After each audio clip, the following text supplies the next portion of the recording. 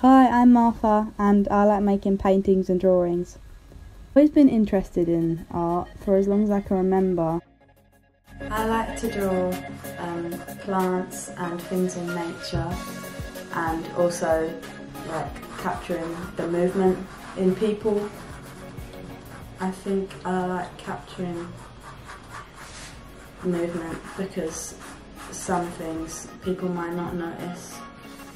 I think my technique is more layering, like starting off soft and then um, like creating more depth with more layers on top and just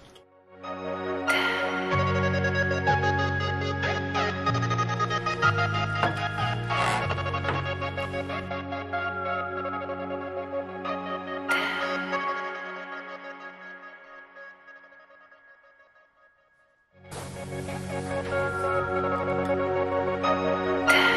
think the best time to create art is just when it's nice and quiet, so when there's no one around. Quite like being alone to make my work. I think it just makes me feel more focused and just be a bit more creative.